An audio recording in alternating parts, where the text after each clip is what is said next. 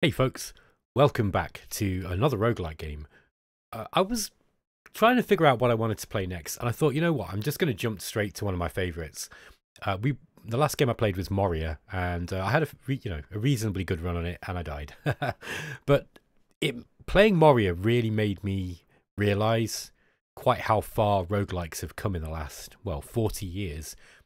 I think uh, I think Moria came out in 1983. I think that was the first version, uh, but it was you know the, the version that I was playing was kind of mostly developed around 1988. Uh, we're going to jump forward nearly 40 years now, and this is a game called Sil-Q. This is uh, this is one of the branches of Moria, then through Angband, and it's called uh, and it's actually a branch of a game called Sil. This is Sil-Q and uh, it's it's taken the Tol- the Tolkien theme and stripped out everything in the game that is not Tolkien like. So there's nothing in here that would feel out of place in one of Tolkien's books. Okay, uh, particularly, and it's set during the first stage of Middle Earth. So during the, the you know the events that happen during the Silmarillion. It's a really really wonderful game. It's it's just really really good. I'm, I can't wait to show you this. Why is it so good? Well, not only is it just superbly thematic to you know Tolkien's work. I mean, you know, obviously it's still a it's a roguelike game. It's a video game, so uh, you know I'm sure purists will be able to find things they don't like, but it's it's pretty faithful. Things like the magic system, you know, there's no throwing fireballs or anything like that. All the magic's to do with song, uh, which is very Tolkien-esque. Um, you can forge items in it, you know, magical items, and the magical items are very thematic and things that you might actually find in one of Tolkien's books or from his Legendarium. Uh, all the monsters in it are straight out of Tolkien. So there's lots of orcs and there's things like balrogs and uh, you know wargs, wolves. Just stuff that you would find in one of his books. Basically, there's there's no like pixies and uh, you know stuff from D and D like beholders. You know, there's there's none of that. So it's it's actually a re- it's a really really beautifully kind of presented game. But the other thing is, is that game mechanics wise, it's it's incredibly good too. I think I was considering playing the tutorial, and I think that might be. Uh, I don't know. Maybe I'll just play it. I think I'm just going to play the game, and you know, you we, will talk about it as we go. Um, so the world was young, the mountains green, no stain yet on the moon was seen. Welcome to Sil, a game of adventure set in the first age of Middle Earth, when the world still rang with elven song and gleamed with dwarven mail, Walk, dark, walk the dark halls of Angband, slay creatures black and fell, wrest the shining Silmaril from Morgoth's iron crown. Okay, so it's even using some of the kind of the rhyming patterns that you get in the original Silmarillion. It's really, really nice. Okay, so let's uh, we'll, we'll create a new character. There are four different races to choose from. Uh, there's two different elven races. You've got dwarves and then you've got men. Uh, they're they're given their original names. So you've got the Noldor, uh, the Noldor are known as the Deep Elves, for they are the most learned and inventive uh, of the Elven kindreds. They, uh, they saw the light of the tall trees, or the two trees in Valinor, and gained much in lore and skill. They are tall and lithe, yet so strong of spirit that they can endure vast hardship. Their hair is mostly dark and their eyes grey. Uh, the Sindar are the Grey Elves, who never saw the blessed light of the two trees, but found an echo of it in their queen, Melian the Maiar. They are less learned and uh, and more powerful than the Noldor, uh, sorry, they are less learned and powerful than the Noldor, but they have fair voices and are gifted in song. Okay. Then we've got dwarves. I'm not going to read all this. And then we've got the Edain. Uh, the Edain are, the men. Uh, men are, you'll see that the, the ability scores, you've only got four, four abilities. Well, sorry, you've only got four characteristics strength, dexterity, constitution, and grace. It's really, really stripped down. But as you'll see, it's not reducing complexity. It's it's just got it's got less stuff than Angband and it's a better game for it in my opinion. Uh, it's a more focused game. It's definitely one of the best of the you know the yendor style games in my opinion. Uh, so we're going to play with you, you're recommended to play with the Noldor the reason is look you get plus one dexterity and plus two constitution and plus two grace. You also get proficiency with bows and song affinity as all elves do. Uh, you'll notice the Sindar are actually they're actually less strong than the men. Now the men are the baseline. Uh, the the Edain are the baseline, so they you start with strength, dexterity, constitution, and grace of zero. Um, and yeah, so the other the others will have varying um, you know, proficiencies. Let's choose an Noldor.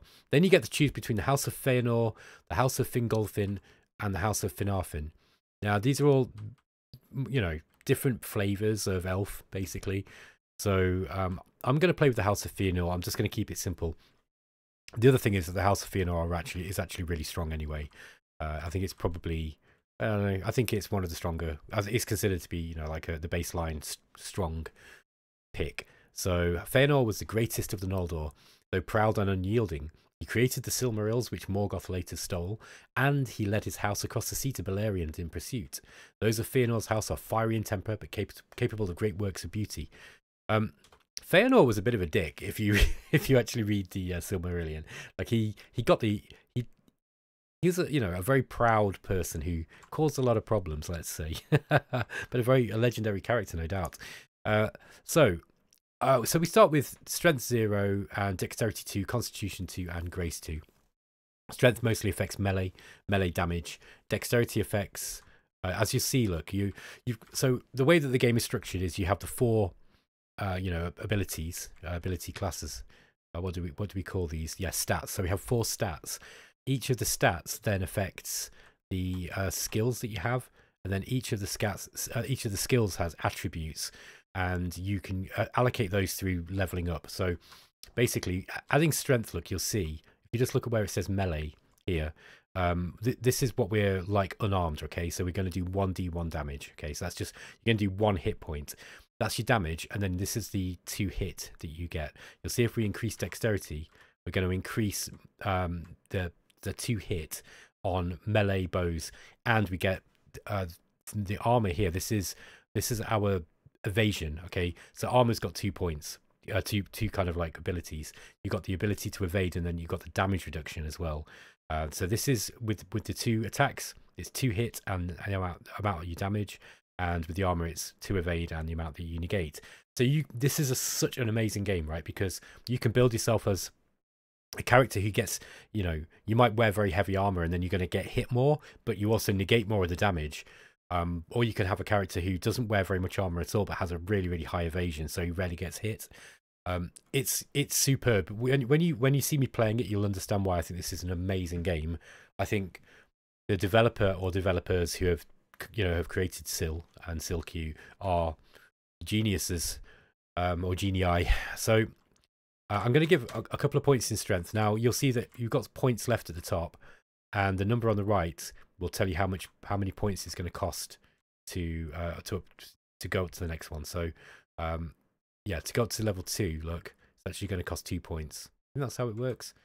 Um, but you can so you can put one. It's going to cost you one to go at one level, then three to go up the next, then six, then ten, blah blah blah. Okay, so we're going to put a couple in strength because you need you need decent melee in this game.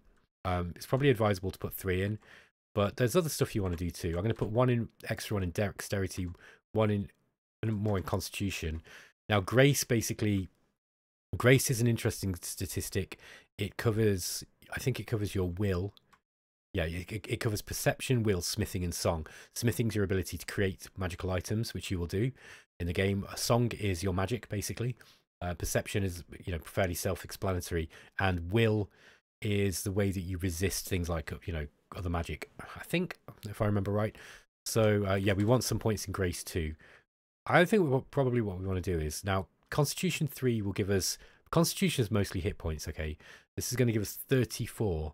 This this is the you know the current and this is the maximum. So we've got 34 out of 34 health and we've got 34 out of 34 vo voice. Think of think of voices in your magic points, okay? These are this is your magic points. So um voice is actually really important in the game. Um, I like to smith as well, but I think just for the first game, what we'll do is we'll we're going to go with then we're going to go with a, a, sort of strength build and try and do as much damage as possible. And, um, you know, basically trying to, we, we want to be able to hit hard as well. I might get a little bit more in Grace too. So go with Strength 3, Dexterity 4, Constitution 3, Grace 4.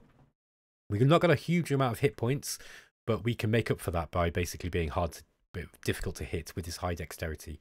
Okay, so that's our, uh, that's our stats. Now we want to allocate points to skills we get 5,000 points at the start of the game, and uh, you can you'll see that it uh, again there's a there's a scaling amount. It's almost uh, yeah there's a, there's a scaling amount that it costs to increase beyond the first levels. So you'll see that our base stats actually gave us um like we started with zero, look, and we actually got plus four in all of these because of our various abilities. Actually, it worked out quite evenly. Um, smithing and song, actually, we get we get an extra bonus for being uh, of the House of Feanor. So we've actually got five in those points.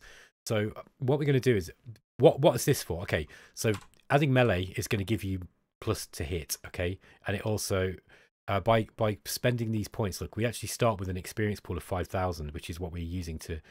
Uh, what what we're using to upgrade these base ability these base skills. So if you see, we just put a whole bunch in melee. You know, that's as far as we can go. We can get melee 13. We're going to have plus 13 to hit, so we're going to hit very hard, very very often. Super skillful combat, but we're not going to do so much. Well, you won't have any other abilities, so you don't really want to do that. I think uh, if we're going to build a melee and a melee and an archery character, which makes sense, we want to put a little bit into melee and archery to start off with. I'd like some in evasion and stealth. I'm just going to basically do a bit of a balanced character this time round. So we're going to have a little bit in everything.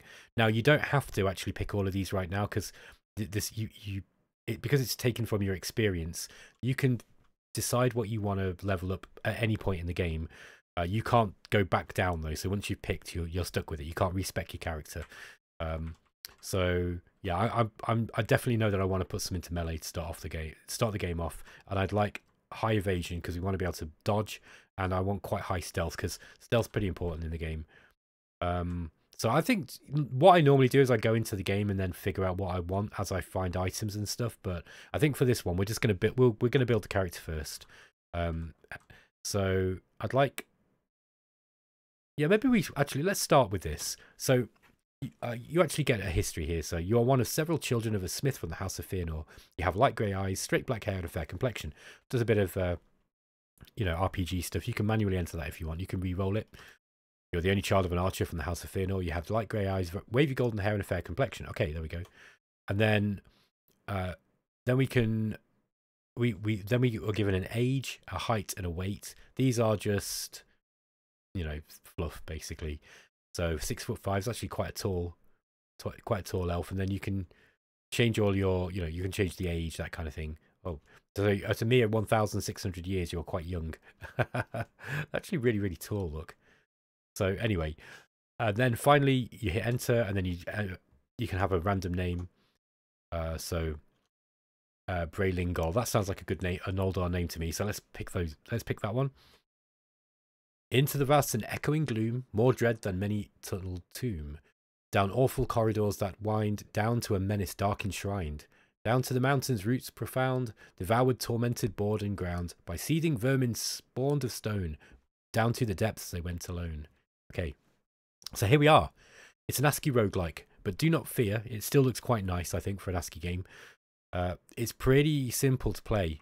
It's actually got a very stripped down rule set. There's not that many keys it's very much you know look there's only really a very small amount of commands there's don't you know most of the keys on the keyboard are used but you don't really need to use a lot of them. But they're pretty similar to it's almost exactly the same of uh, as moria basically or angband okay so we managed to pick this lock in this door. Now on the first level you're likely to find in fact let's just close that up. Let's just see if we can find some items. Now you can you can go stealthy and move slow. So uh, this is a really, really nice stealth game. I want to avoid that orc that we just saw there because we do not have any weapons yet. As you, will see at the start of the game, we we start the game with three fragments of lembas. This is the Elven Waybread, if you remember from the Lord of the Rings. We've got a couple of wooden torches as well, and we are equipping. We are holding a, a curved sword, so we've managed to grab a an, an orc scimitar. Now um, that minus one two d five means we get minus one to hit uh, because it's kind of unwieldy and it's 2d5. Now, the reason why it's 2d5, it does d5 damage um, if you are strength 1, okay? Um, but for every strength over zero, sorry, for every strength over zero you get, you, you get plus 1, I think, and that's how it works. Uh, is that right? I think so. Yeah, it might be every, every strength over strength 1, actually it might be that you get an extra, uh, you get an extra dice. So at strength 3, we get 2d5 if you were strength 4, you'd get 3d5. So that's how strength affects we weapons. Um, the plus 1 means that we get plus 1 damage, I think. Is that right? Oh, I've forgotten what that one means now. Yeah, it might be. Um, it might be the plus 1 damage. Also, the other thing is about the, the, the weight of the weapons really important. So depending on the poundage, you know, like how many pounds will determine how far up, you know, how many dice you can get extra with the strength. So for example, if we had strength four or five, I think we, I think if you had strength, yeah, anything over four, we are not going to get any more effect out of it. One of the things you can do when you're smithing weapons is you can make them heavier or lighter. So uh, obviously, if they're lighter, they're easier to use for you. But if they're heavier, then you can do more damage. It's a really, really, it's a really, really elegant, beautiful roguelike system. This is. Let's carry on. So we managed to pick that lock. What have we got over here? We found four daggers and we got a stare down. Uh, now down there we've got a monster. Uh, we got a wolf. Okay, and he's sleeping. So this has got a really cool stealth system. Let's just sneak. You want to keep by the walls if you want to sneak because when you're, you when you're standing by the wall, you are less likely to be seen. I'm going to grab those daggers. Uh, we can throw those. What else have we got? Looks like we got a staff or something here. Uh, there's a spear. Okay, so there's a weapon. And we got a, we've actually got a trap here as well, a discolored spot. We can disarm that. Okay. We're going to grab the spear. It's not auto pick up. Uh, you have to hit the, the comma key, and then we're just going to hit W. Oh no, we're going to use we're going to use the spear. So we were wielding a curved sword. Now we've got the spear. The spear is going to do 1d11 damage, and it's not got an attack penalty. So it's going to be a little bit better for us. Okay, let's continue through this door. Okay, the orc skirmisher notices you. So we've been we've been caught. What we're going to do is um, we're actually going to throw one of these daggers at this guy. And if you just press F, you'll just throw it like that. There we go.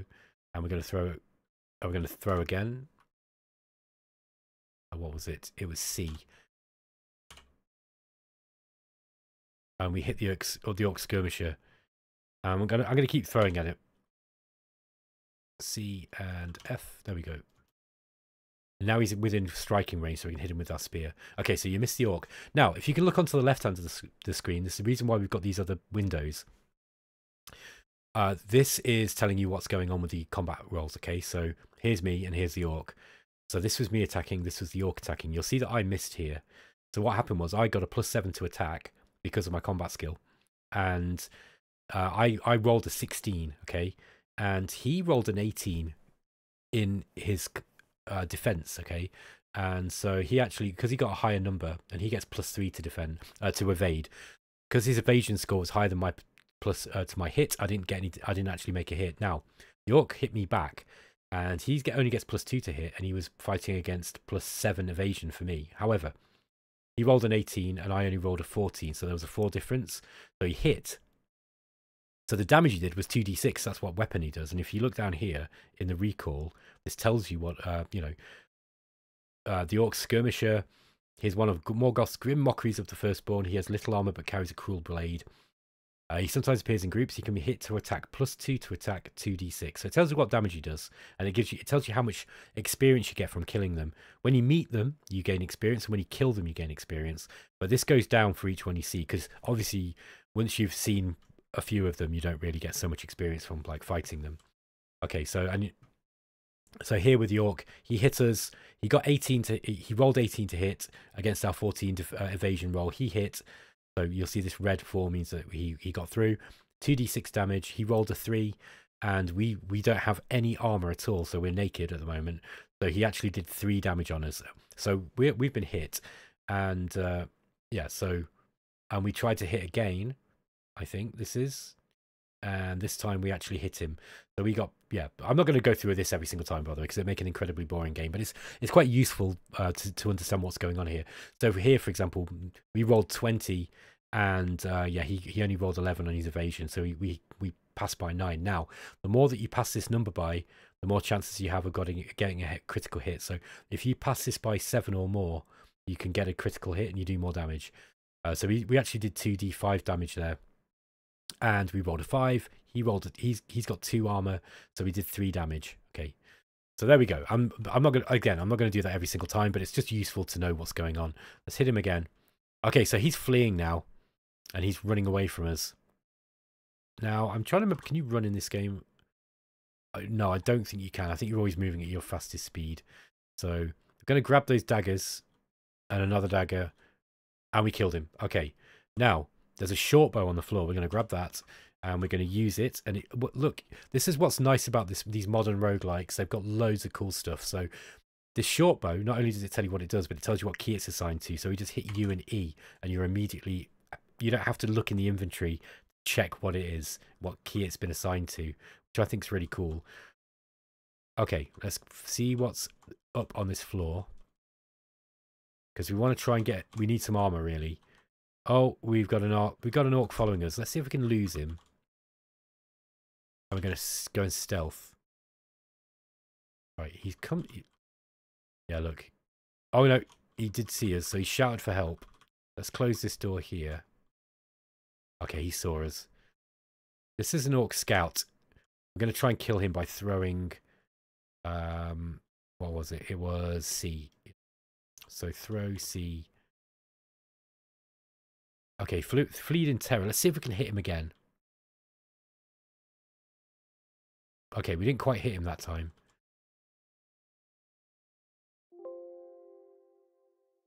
Okay, hit the orc scout. He's nearly dead. We're gonna gonna try and throw this uh, item again. Okay, we, we missed him that time. Uh, there's another orc. Yeah, there's another scout. Let's just try and go this way. See, those guys will they will they're annoying because they will call for enemies. They will call for help. So there are ways of dealing with them. Let me show you one of them. Uh, we've got a song here that we can learn. Uh, it's called the Song of Challenge. This this is a magic spell basically, but they're all songs. Causes weak-willed foes to attack aggressively without regards for strategy. Enemies with ranged weapons will close to melee range. This is really nice to get those guys away from you. There's also there's other spells we can cast as well. The Song of Elbereth causes fear, so you can actually cause enemies to run away from you. Magic's really strong in this game, but you got to use it right. Uh, we've got the Song of Freedom, which discovers traps, doors, and uh, enables you to get through rubble. Uh, it's just interesting. There's loads. These are the skills as well that I was talking about. Okay, so when you've got, if we go back to our character sheet, you can upgrade your skills here, right? Or you can upgrade your uh, abilities, and abilities are what the the higher up in the skill points you go, the better abilities you can get. You can get some really good stuff. So I think we're going to start picking some of these. Now they do cost experience points, and the more abilities you pick in one area, they're going to cost more experience. But we're going to go with a character with a you know combat character. Now I'm going to go with finesse because that will lower the base num number needed to get critical hits from with with melee from seven to five because I like that idea. Uh, we can also go with power. This would give us plus one uh, damage sides. So if you're doing one d you know two d five, it'll actually give you two d six. But it does make it um, harder to score critical hits. I'm actually going to go with the finesse build. So let's leave that one. Um, I like evasion as well. Now, um, you can either pick dodging or blocking at the start of the game, or we could increase our abilities to go higher. Now, uh, to get parry or something like this. Dodging gives you a plus three bonus to evasion if you've moved on your last turn. Blocking gives you uh, double the protection roll for your shield against all attacks. So we don't have blocks, but parry we could get if we upgraded our skills further. So if we were to increase our skills and go to evasion and put some experience points in here, look, um, I think we needed four for that. So if we spend four, 400 experience points and then go to abilities and evasion, we can now grab parry. This doubles the evasion bonus granted by your primary melee weapon. Um, I think we've got a, a, I think we've got a spear, so I'm not sure what the evasion bonus is on this one. Um, yeah, so I think the evasion bonus is actually the one at the end. That will be the curved sword. So if we were using the curved sword, we could get evasion. Well, I'm just going to wait for that one first. I've also got a couple of tangled, uh, tangle thorns up here. Tangle thorns are dangerous thing, uh, like like dangerous bushes that attack you with their thorns, as you might expect. I want to kill this damn thing. Let's see if we can throw the dagger at him.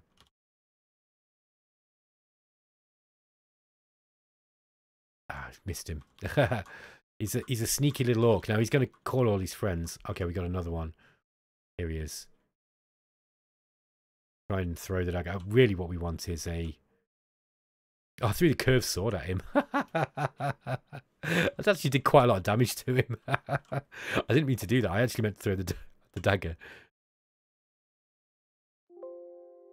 Okay. Oh, he turned to fight. Okay, we've slain one Orc Scout. Have we got any more daggers? Yes. Throw, C. Okay.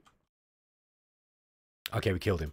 So we've got the the scouts off our back. Let's close that door and just try and get out of here so we um, get away from anything else that's coming towards us. I'm not going to worry about the tangle thorns now. Uh, we've got a couple. We've got a patch of sunlight here. Uh, I can't remember what sunlight does. Obviously, you're not going to be able to hide so well in it. Uh, but I think it's also. I think there might be some other effects that it has too.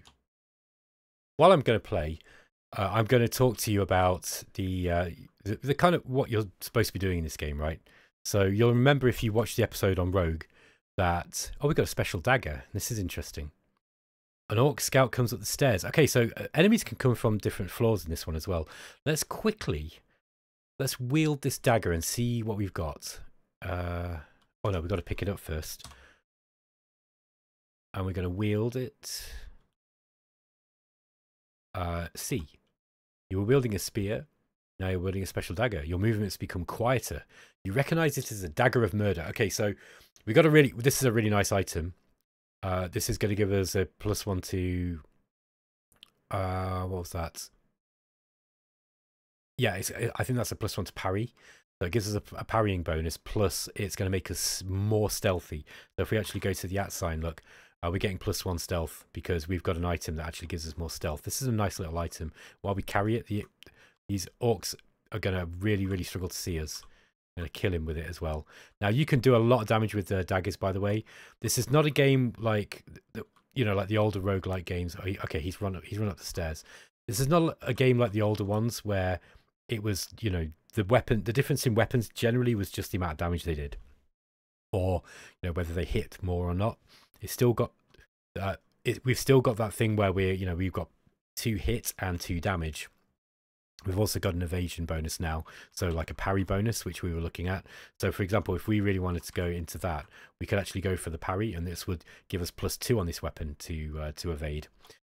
But anyway, I was talking about what you're trying to do in this game. So, for those of you who know a little bit the, about the Silmarillion, you'll know what the Silmarils are. They were the the light of the trees, you know, the the, the, the light of the trees, the great trees that Feanor trapped in uh, some jewels, beautiful jewels, and they were just said to be so mesmer, so beautifully made and mesmerizing. Found a short bow look, uh, so beautifully made and mesmerizing that uh, anybody who saw them just kind of instantly wanted them.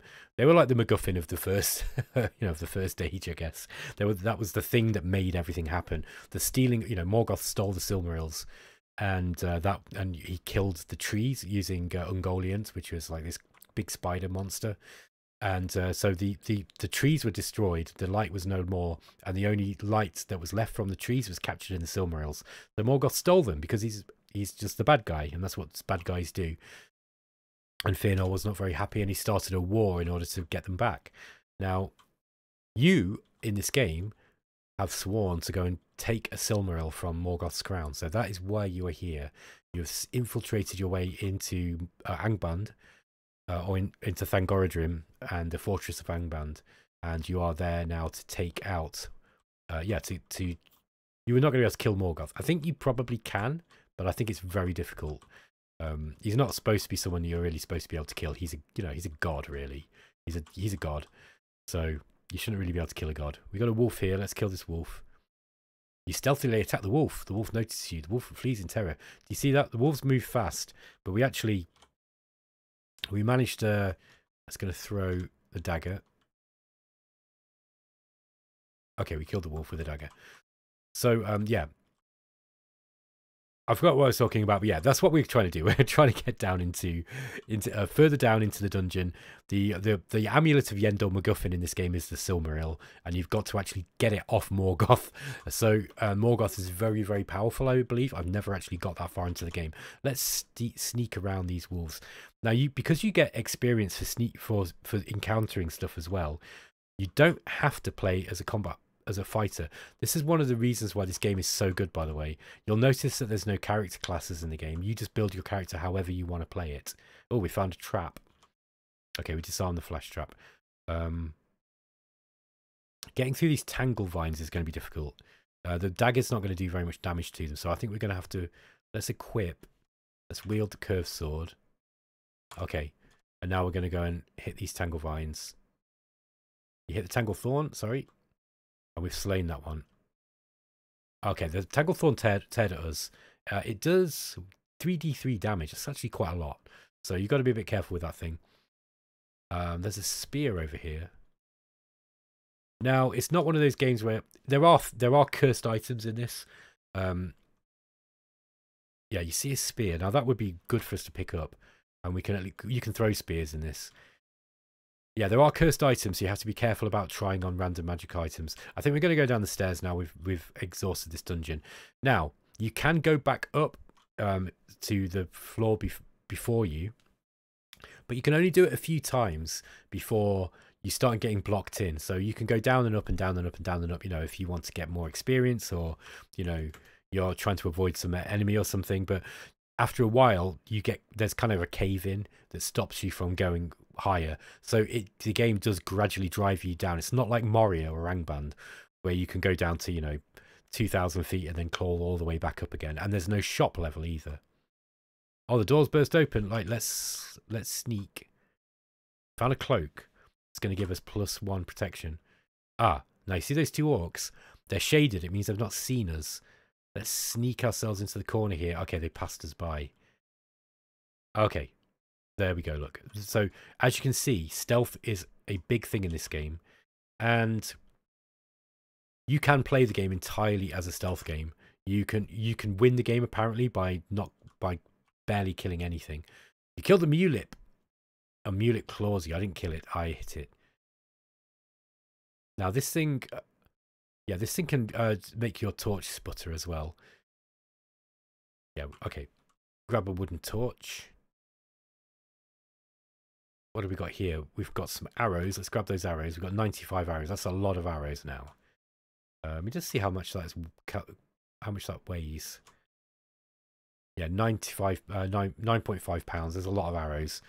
Um, let's just see what's through this door before we go and take on that room full of enemies. Oh, there's a mewlip again. The mewlip notices you. So you saw that it was, uh, it didn't notice us at first.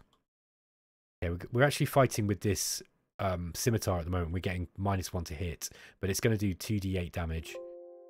Oh, we got a low hit point warning. Okay, we killed the mewlip. Okay, so we're, we're actually quite damaged.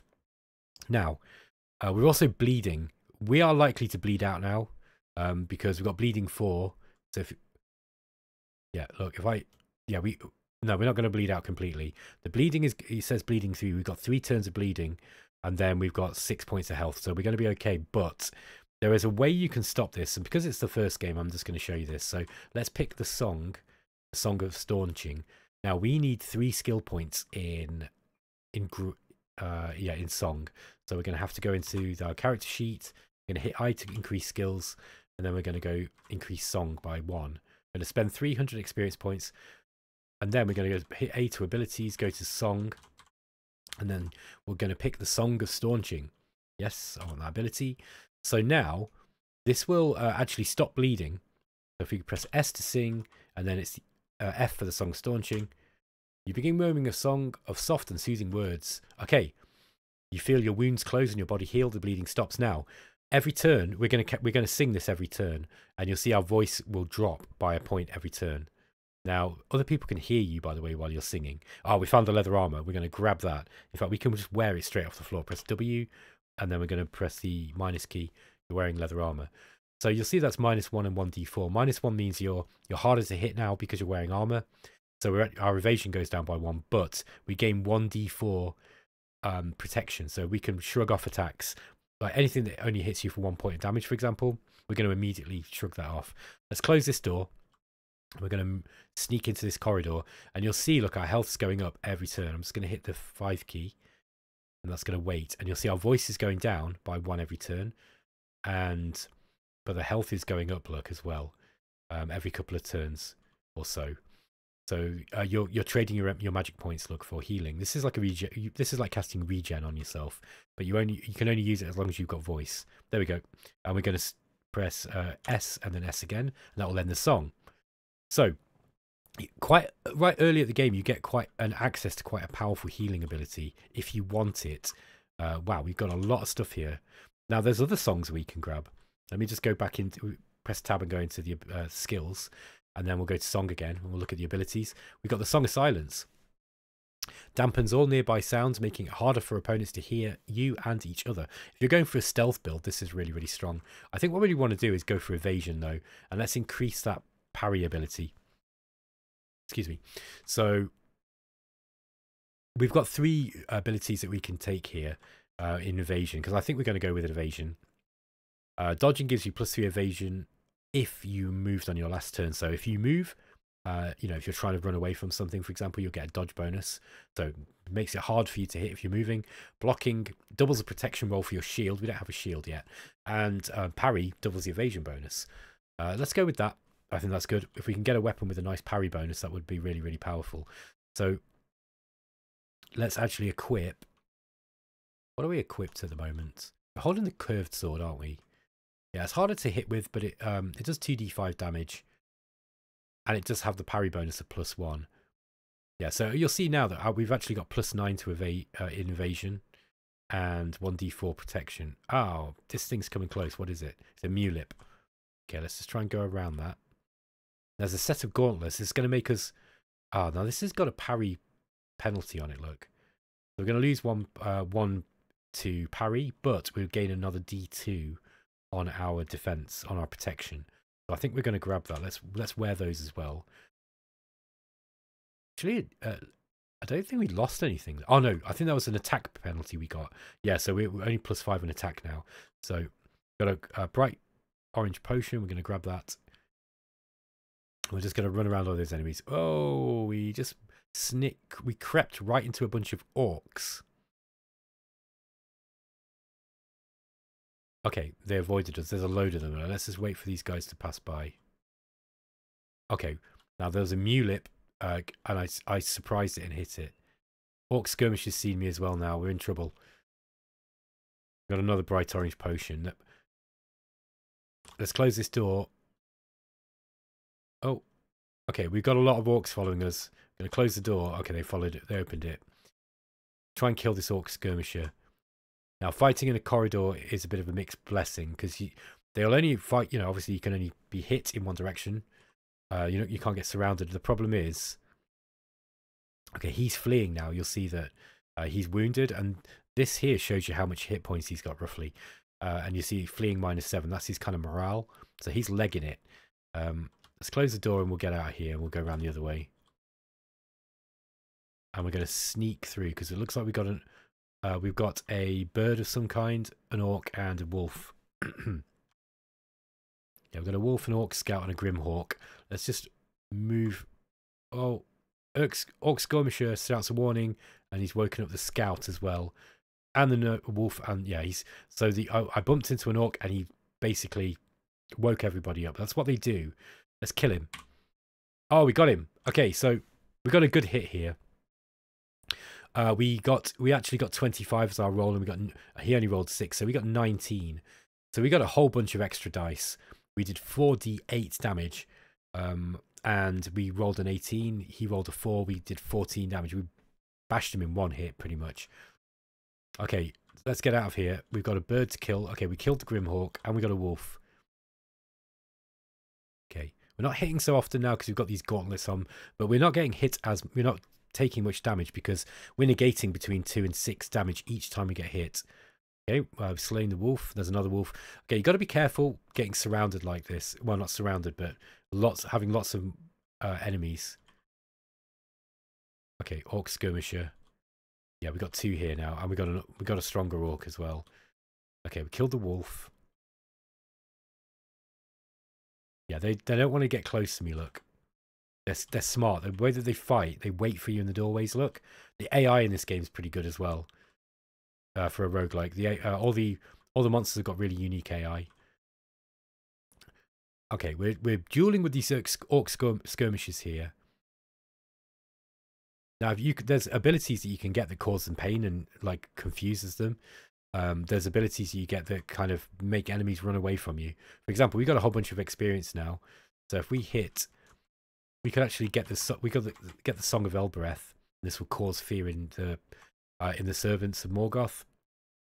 We get the Song of Silence, made us more silent. Uh, the Song of Challenge is good because it makes them come run at us. Basically, I think I'm going to get that because I like that ability a lot. Let's call, let's actually do this.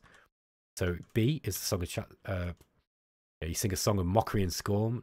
They're going to come straight for me now, which means that we can actually we don't have to worry about them trying to lurk. They're just going to come right at me.